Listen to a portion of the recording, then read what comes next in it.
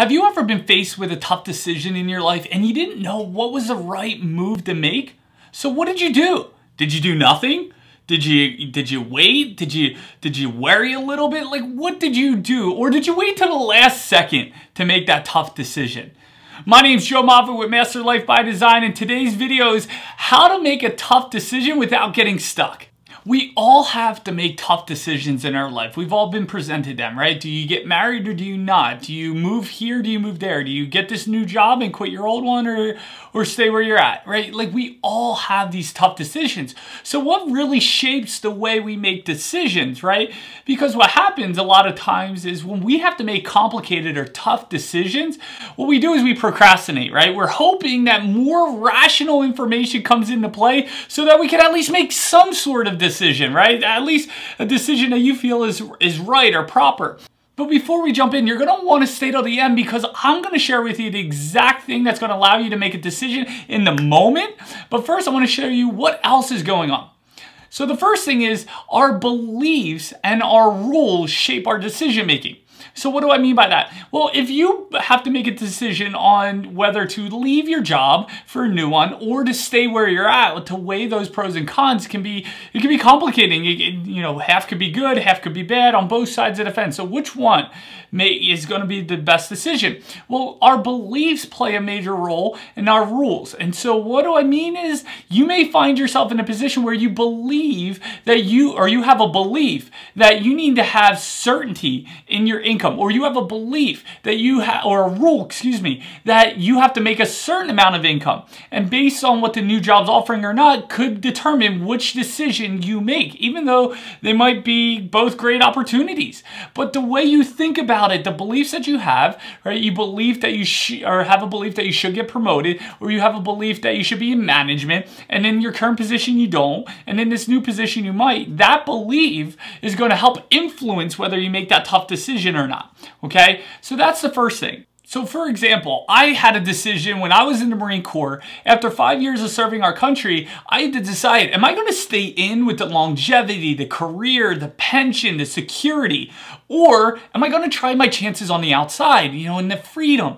And for me, I had a belief that I shouldn't be told what to do, right? And it would have been good to know that belief before I joined the military because that's all that happens is they tell you what to do, what to believe, when to sleep, when to eat. I mean, it's fun. It is really fun.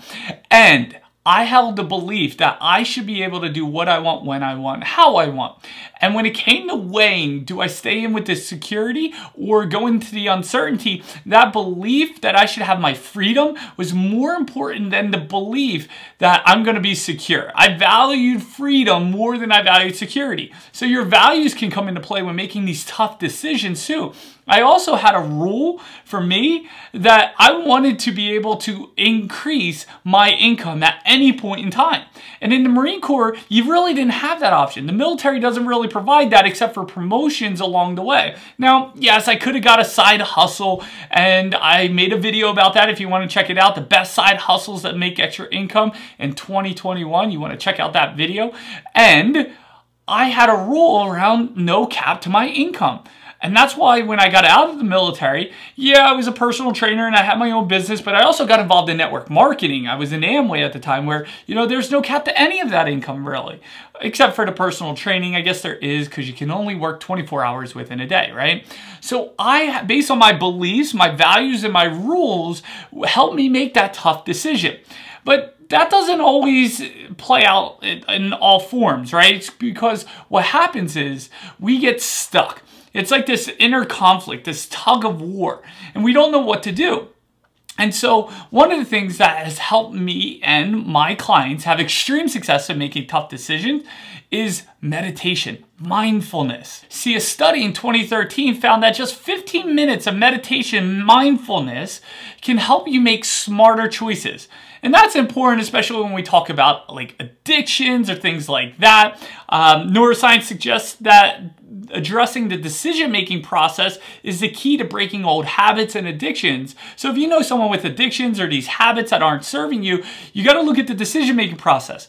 And that's why we're making this video is how do you, when it comes to making that decision-making process, how do you make that decision? right? And so the first thing is your beliefs, your values, and your rules, right? If you have a rule that you should never drink alcohol, then you're more than likely not going to drink alcohol when someone peer pressures you into it right? Or if you believe that you should never do drugs because they're bad for you, when someone presents you that, you're going to make the decision not to do that. And by doing mindfulness, by doing that 15 minutes of meditation, it can help influence making clearer and smarter choices. So if you know someone that's kind of addicted, or maybe even someone you know personally, that has a bad habit that you want to kick, it comes down to your decisions. But how do you make that decision? Is by some of the steps in this video. Over the years, what I've found is most people get so caught up though in making the right decision or the wrong decision. Is this the right one? I don't know. And they freeze, they procrastinate, right? Has that ever happened to you? I know it's happened to me many, many times.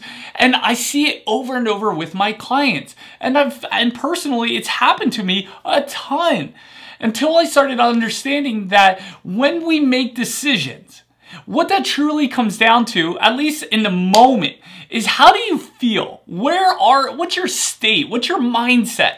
Because this, your state determines what type of decisions you make.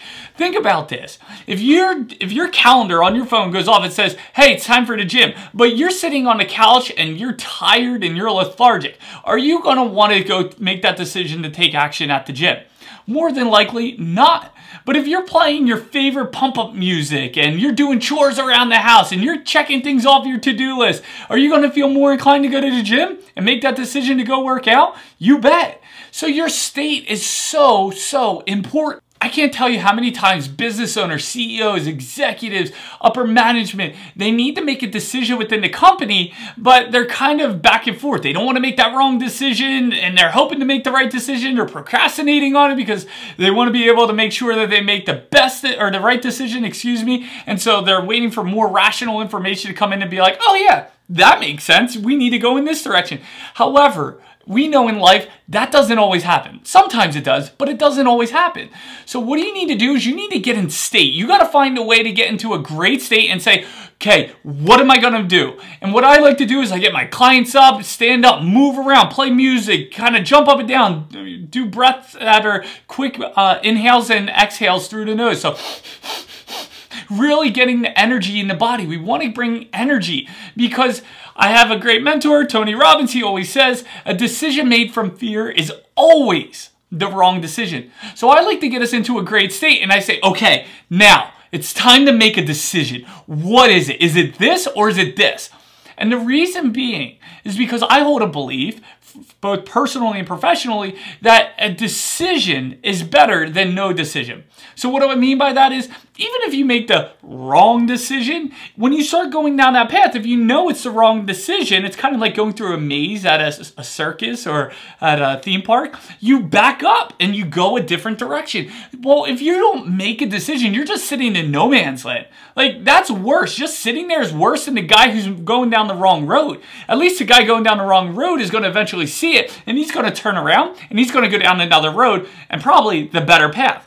Most people think I got to make the right decision. Where I like to think of it is what's the best decision in this moment, but I got to be in a great state. And based on my rules, my values, and beliefs, how does that all come into play? But when you're in a great state, think about it. You, if someone's like, "Look, you got a lot going on. What do you need to do? What do you, what decision, what direction does the company need to go? Are you looking to be long term in this relationship or not?" You got to be in a great state to make that decision right there in that moment, and that's going to be the best decision not the right one. We don't know if it's right or wrong. We got to go down the path to see it. Most people sit in no man's land and they never take a path. I encourage my clients and even myself, I go and I make a decision of what I feel is best based on my state and then kind of and looking at what do I believe, what are my values, what are the rules that I have, and then from there, I go with it. Because when I make a decision, when my clients make a decision, we get feedback a lot faster. And when we get feedback, we can either keep going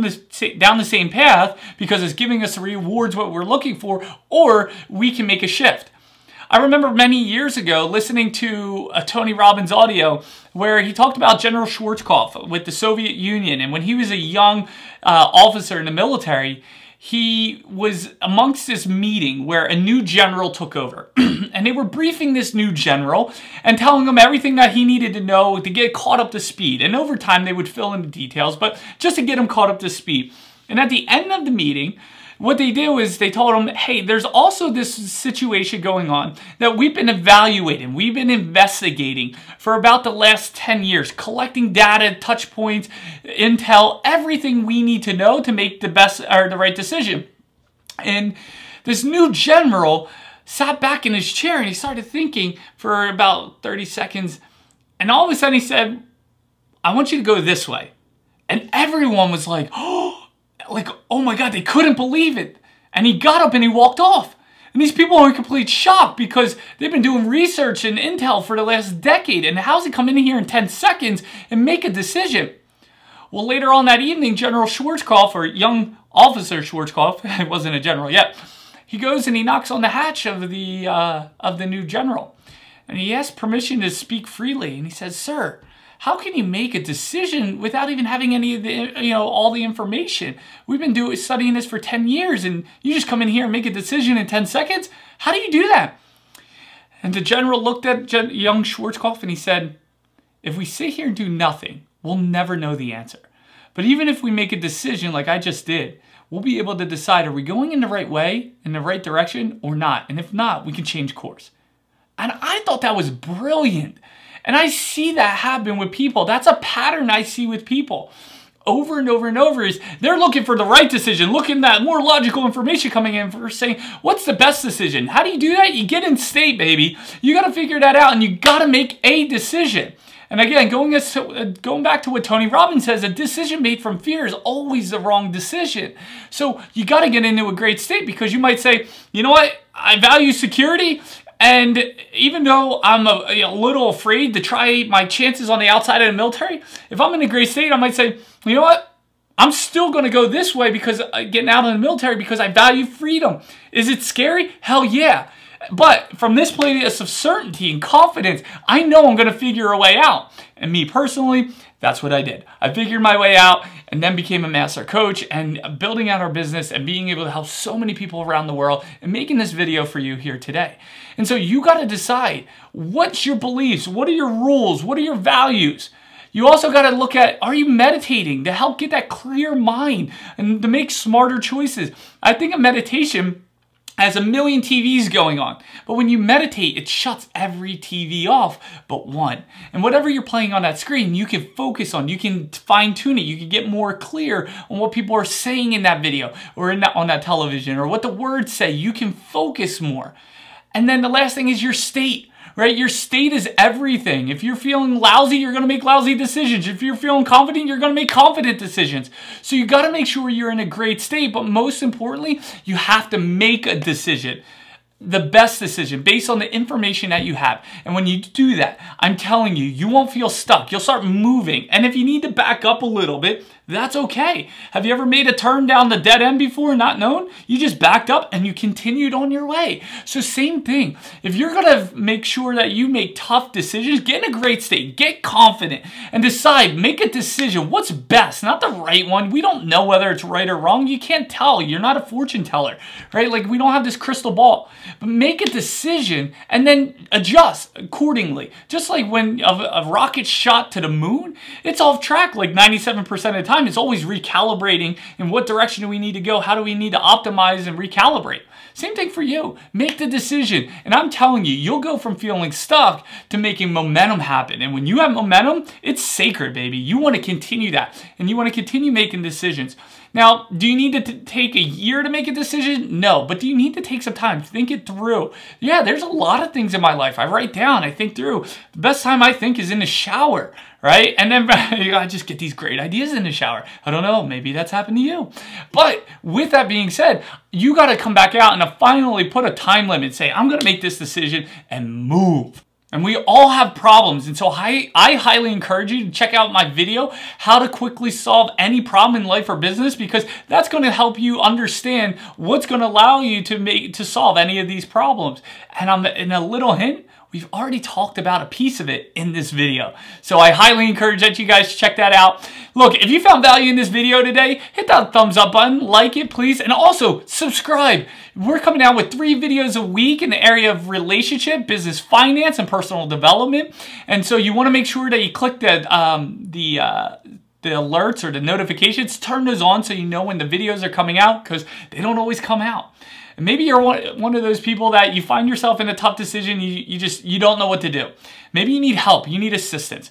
In the description below is our one-on-one coaching application where you can work with myself, my wife, one of our amazing coaches on how you can be able to make that tough decision, how you can break through any problem in your life, how you can be able to create that freedom and the, and the abundance that you want in your life. So fill out that, someone will contact you. But again, most importantly, subscribe to this channel so you can get more updates as they come out three times a week. So with that, my name is Joe Moffett with Master Life by Design. Thanks for tuning in. Have a great one. See ya.